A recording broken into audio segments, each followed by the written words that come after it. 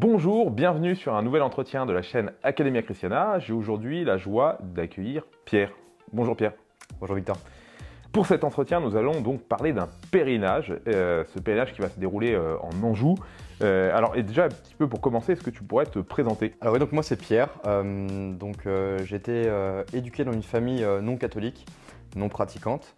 j'ai eu la chance, donc je me suis toujours questionné sur, sur ma spiritualité depuis, depuis ma tendre enfance.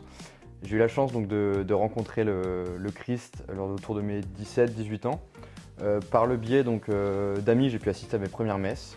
J'ai par la suite demandé le baptême, euh, que j'ai reçu donc sous sa forme ordinaire. Puis dans un second temps, des amis m'ont présenté la, forme extraordinaire de la messe, par laquelle j'ai pris énormément de, énormément de, plaisir et, et un certain attrait et j'ai approfondi ma foi dans la, dans la, tradition catholique. Alors ce pèlerinage, il a lieu quand? Ce pèlerinage a lieu le 14 juillet. Le 14 juillet, c'est drôle, pourquoi? Par rapport à la mort de Catlino. Alors ce pèlerinage se déroule où?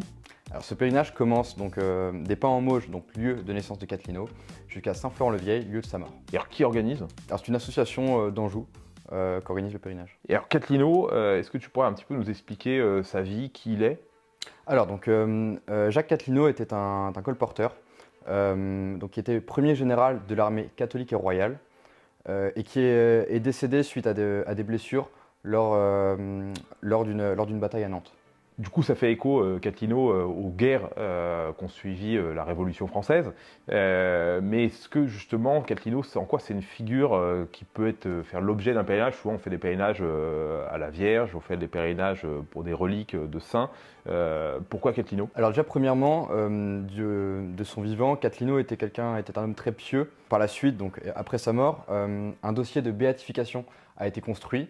malheureusement, donc, a eu quelques contraintes euh, au 19e siècle. Et, euh, euh, donc le dossier en attente s'est vu, vu, être détruit lors du bombardement donc, des Américains du, du, palais épiscopal d'Angers. Quel sens ça a de faire un pèlerinage? Alors selon moi, il y a quand même plusieurs axes, plusieurs motivations à aider de, à aider de faire un pèlerinage.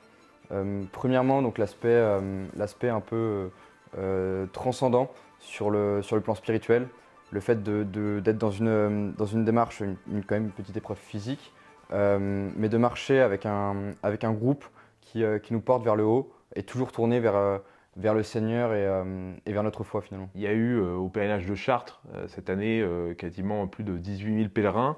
Est-ce qu'il n'y a pas quelque chose d'un petit peu de nouveau dans cette démarche du pèlerinage? Si, si, si, totalement.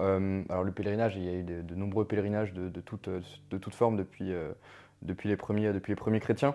Mais euh, je dirais qu'on a un renouveau euh, vers ces pratiques spirituelles, euh, puisqu'en fait on casse un peu les, les barrières du, si je puis dire, du train-train quotidien et du simple fait d'aller à la messe on rentre euh, dans un univers qui est beaucoup plus, euh, beaucoup plus concret, beaucoup plus parlant, et euh, on, fait sauter également des barrières qui pourraient un peu nous, nous freiner, je pense, dans la vie de tous les jours. J'ai l'impression quelque chose de particulier à la jeunesse. On le voit en effet, tant sur le, sur le périnage de Chartres que sur le, périnage de Jacques Catlino, un engouement des jeunes justement qui sont attirés par, par cette, forme de, cette forme de spiritualité.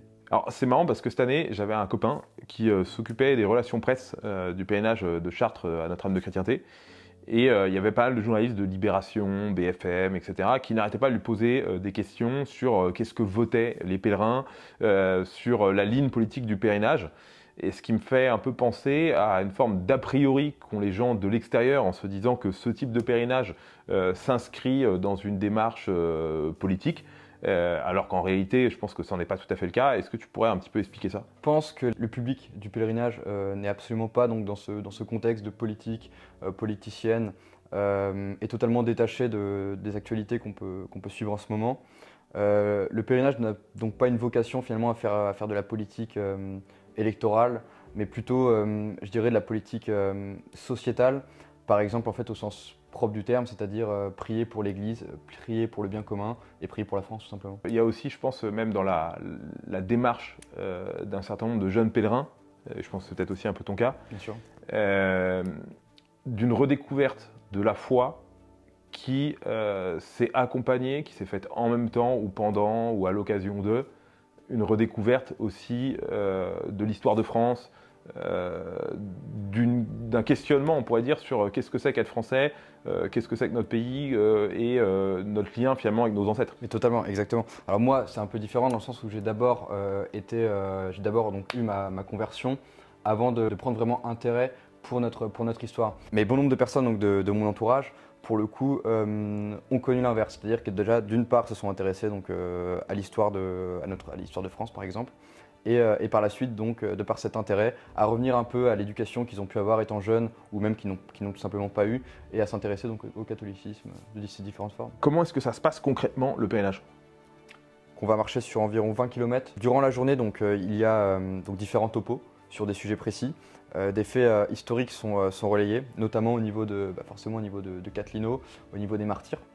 Et, il y a donc des prêtres qui nous accompagnent et qui vont venir confesser toute la journée, ce qui est d'ailleurs un point très important des pèlerinages en général, puisque même euh, des personnes qui de base n'ont pas forcément une, vie spirituelle très, euh, très, euh, très rigoureuse, si je puis dire, euh, vont être amenées par cet élan à aller se confesser et, euh, donc se rapprocher finalement du Christ. Pour quelqu'un qui euh, n'a pas du tout l'habitude euh, de la pratique religieuse, euh, qui est assez distant par rapport à l'Église, euh, de commencer une certaine manière par un pèlerinage, c'est un côté un petit peu plus facile euh, que de commencer par euh, d'aller à la messe euh, un dimanche dans une paroisse comme ça. Quoi. Totalement, en fait, y a, comme, euh, comme je l'ai pu dire tout à l'heure, il n'y a pas les barrières qu'on pourrait se fixer naturellement ou même qu'on se fixe, c'est-à-dire le jugement des autres, la tenue vestimentaire, les codes finalement qui peuvent, qui peuvent nous, effrayer un petit peu si on ne connaît pas tout le déroulé de la liturgie, on ne sait pas comment réagir, quelle prière, quelle prière dire, et ben finalement là on est sur quelque chose qui est beaucoup plus simple,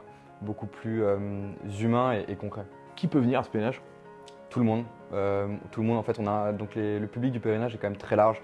On peut avoir de- des familles avec des enfants même en poussette, euh, jusqu'à des personnes. euh, je me souviens l'année dernière, on avait par exemple une personne en fauteuil roulant qui était venue donc portée par, par, par son entourage.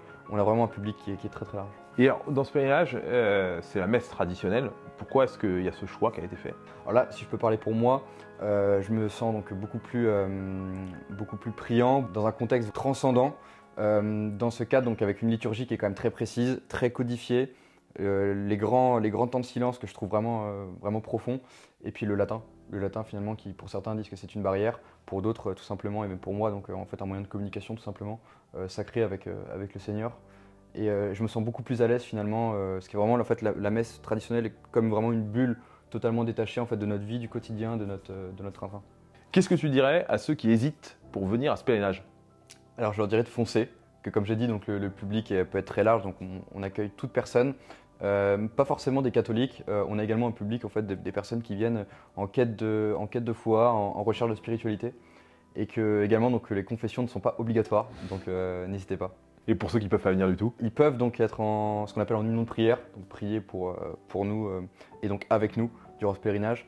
Également se renseigner euh, auprès, de, auprès de différents organismes autour de chez eux, parce qu'il y a des pèlerinages qui ont lieu toute l'année. Effectivement, par le réseau Academia Christiana, on a énormément, énormément de pèlerinages qui se sont développés un petit peu dans toute la France. C'est voilà, l'occasion justement un petit peu de les faire connaître, et notamment voilà, ce pèlerinage, en tout cas en Anjou, qui est ouvert aux Angevins, et pas que, j'imagine.